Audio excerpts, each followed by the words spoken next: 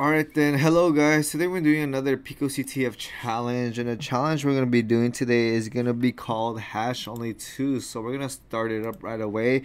And it's going to be very similar to hash only 1.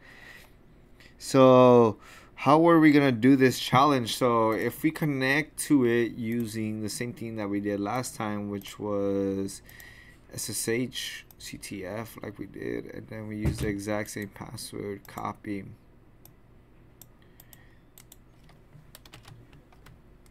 and then yes. Then we have to enter the password. So if we click on this copy. My bad. All right then so we have this. So what can we do? So it looks like if we run the binary la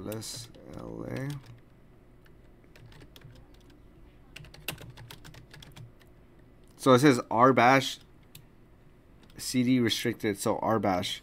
It's a bit different from last time. It looks like we were in another type of bash. So if we look, I think flag, or I think it might be environmental flag hasher.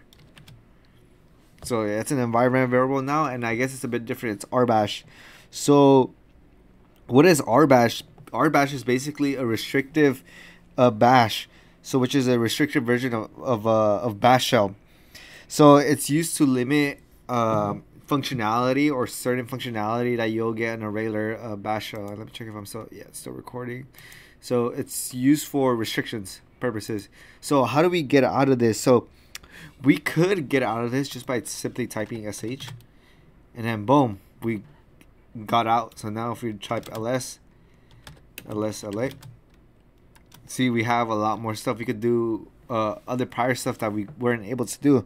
So now we're able to, I guess, um, so I think I could go back to rbash. Yeah, so ls, lsla. Oh, well, looks like I can't sh. so now we could probably do the same thing that we were doing last time. So, oh, you know what? I just I want to be able to show you guys the exit, exit, exit. All right, then. So like ls, restricted ls la that still works.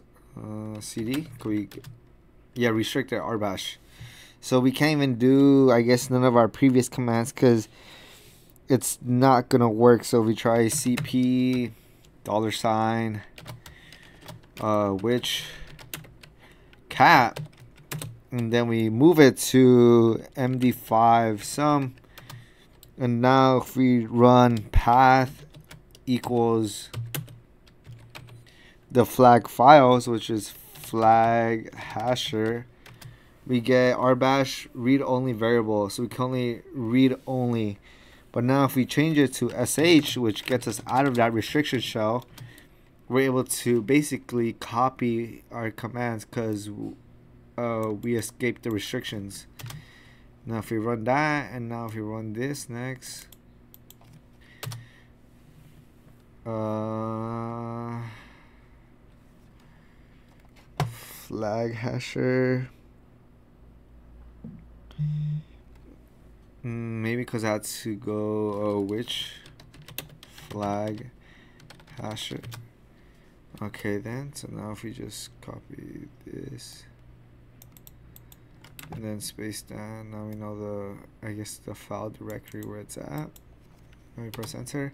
Computing, and then we just wait for it and we get the flag. So yeah, that's about it. Nothing too difficult nothing too hard and yep.